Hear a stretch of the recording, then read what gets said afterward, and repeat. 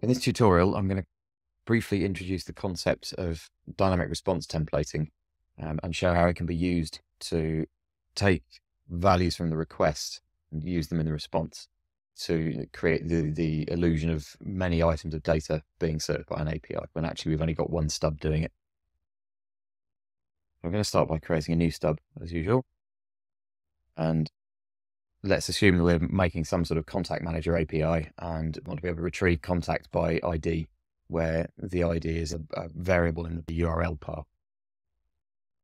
This stub get single contact.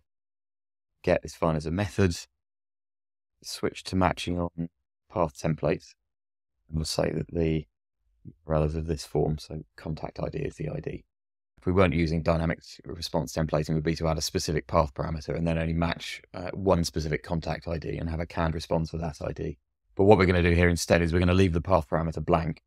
And instead, we're going to create a, a dynamic response that will be valid regardless of what value we put into the, the request URL.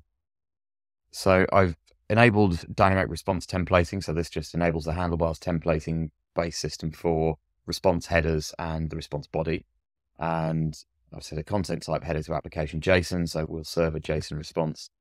And then I'm going to create an example of a very basic contact record, which is just going to have an ID and a first name and a last name. Now, it's very common for API responses to have an ID field which matches the ID in the, the URL path. So, in order to sort of create this illusion of many records, the obvious thing to, to do is to take the ID from the, the URL path in the incoming request and use it in our response body some quotes around it. And so the, these uh, triple brackets, so this is handlebars template syntax. Um, the triple brackets versus double brackets just means don't attempt to escape the content, just uh, repeat it kind of exactly as it is.